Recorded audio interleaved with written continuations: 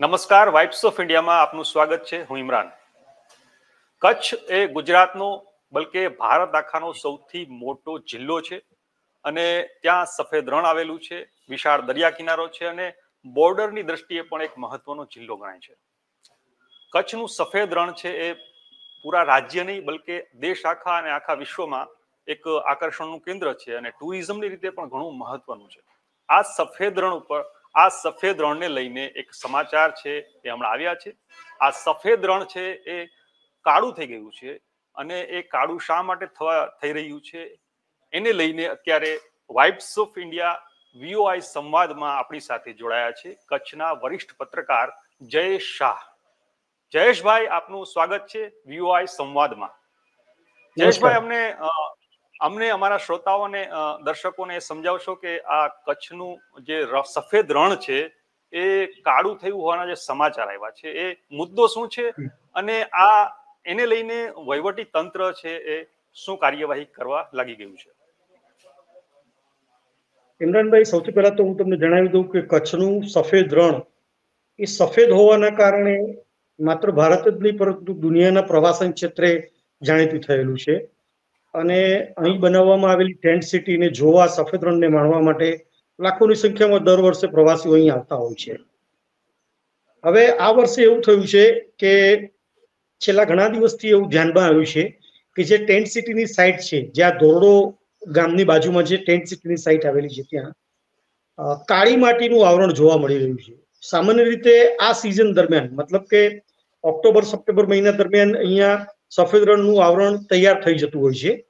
આ સફેદ રણનું આવરણ વરસાદની પાણીથી અને બોર્ડરની ઉપર જે અલગ અલગ ક્રીક એરિયા આવેલો છે એ ખાડીમાંથી આવતા ખારા મીઠા પાણીના કારણે સફેદ રણનું આવરણ રચાતું હોય છે જે અત્યારે જોવા મળી નથી રહ્યું.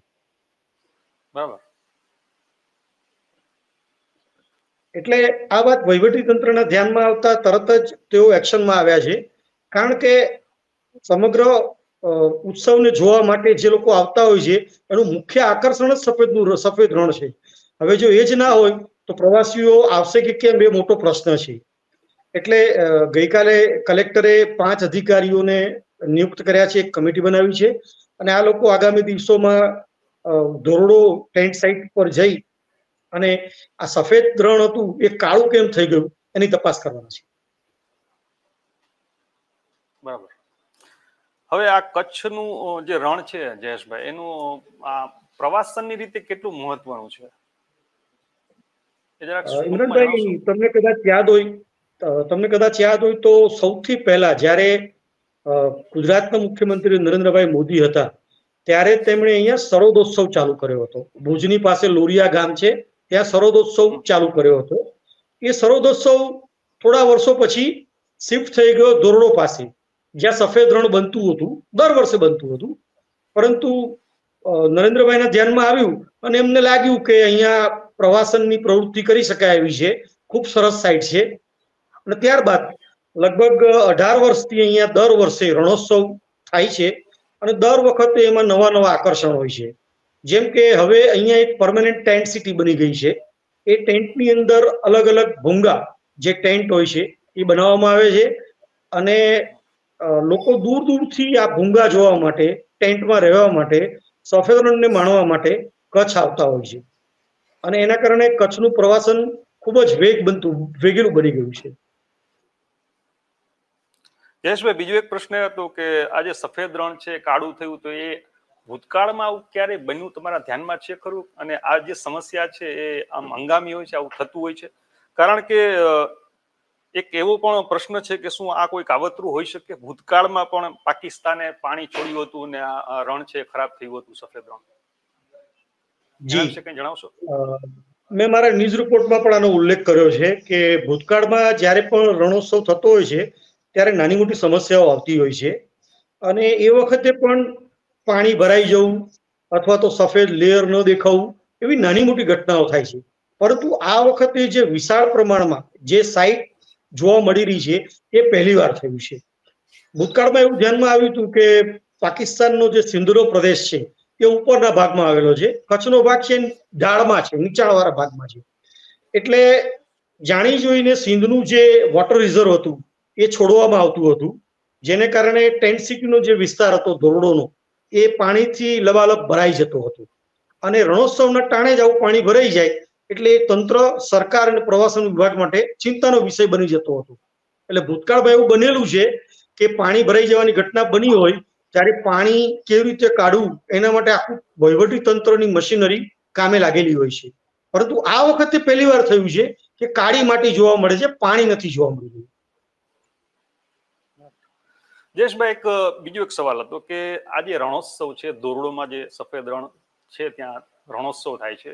તો ત્યાં કેટલા લોકો આવતા હોય છે દર વર્ષે? અને એનાથી જે આ લોકો પ્રવાસીઓ આવે છે પ્રવાસનને વેગ મળે છે તો જે સ્થાનિક લોકો છે ગ્રામ્ય વિસ્તારના કચ્છી લોકો એને રોજગારીમાં કેટલો ફાયદો થાય છે? જો અત્યારે છેલ્લા બે ત્રણ વર્ષની વાત કરીએ તો પ્રવાસીઓનો આંકડો લગભગ પાંચેક લાખને ક્રોસ કરી જાય છે. હવે પાંચેક લાખ લોકો અહીંયા આવતા હોય એટલે સ્વાભાવિક રીતે અહીંયા જે સ્થાનિક લોકો હોય એમને પણ રોજગારીની તકો ઊભી થતી હોય છે. દાખલા તરીકે આ જે ધોરડો ગામ છે એ ગામ જવા માટે ભૂતથી તમે ધોરડો ગામ જાઓ તો રસ્તામાં માવાની દુકાનો આવે છે. કચ્છી પહેરવેશની દુકાનો આવે છે. એ સિવાય લોકલ ટ્રાન્સપોર્ટેશનના જે સંસાધનો છે એ લોકોને પણ રોજગારી મળે છે. એટલે જ્યારે મોટી સંખ્યામાં બહારથી લોકો અહીં આવતા હોય ત્યારે સ્વાભાવિક છે કે લોકોને રોજગારી મળતી હોય છે. અને આના કારણે જે ખાવડા વિસ્તાર જે છે ભૂત તાલુકાનો એમાં લોકોની રોજગારીની તકો ખૂબ જ વિકસી છે. બરાબર.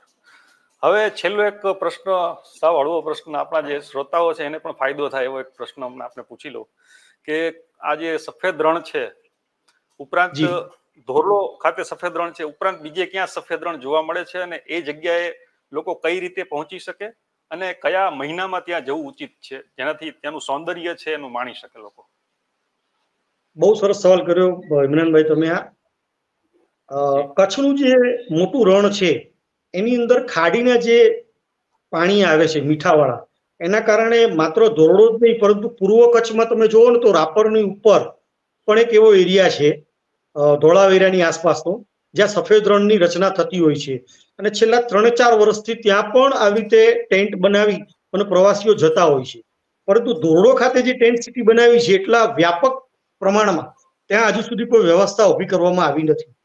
એટલે બની શકે કે આ વખતે જો ધોરડોમાં સફેદ રણનું લેયર ન બને, એ રચના ન થાય, તો પ્રવાસીઓ બીજો વિકલ્પ શોધે અને બીજા વિકલ્પ સ્વરૂપે એ લોકો પૂર્વ કચ્છમાં જાય તો પણ નવાઈ નથી. Thank you Jayeshbhai. આપે કચ્છનું સફેદ રણ કાળું કેમ થયું? એનું કારણ જણાવ્યું. એના માટે જે તંત્રએ તપાસ હાથ ધરી છે અને ઉપરાંત કચ્છના સફેદ રણનું મહત્વ અમને સમજાવ્યું. વાઇબ્સ ઓફ ઇન્ડિયા સાથે આપ સમય કાઢીને જોડાયા. એ માટે ખૂબ ખૂબ ધન્યવાદ. થેન્ક યુ જી, નમસ્કાર.